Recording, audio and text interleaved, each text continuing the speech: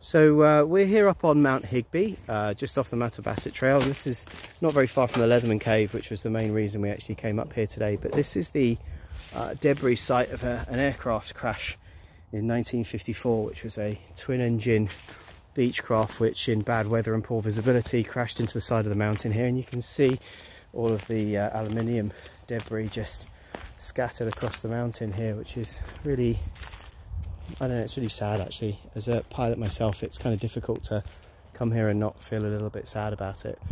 But um, it's amazing how much of it's still here, kind of 70 years on really. Um, and sadly, this is not the last time an aircraft's hit here. The history books show that another aircraft hit here in 1966 and another Cessna crashed into here in the 1990s. So it's clearly claimed the lives of a few pilots, this mountain. But I guess what's just stunning really is just how much of it is still kind of here. And then the the other thing that we've noticed looking around is these kind of bubbly blocks of heavy uh, aluminium.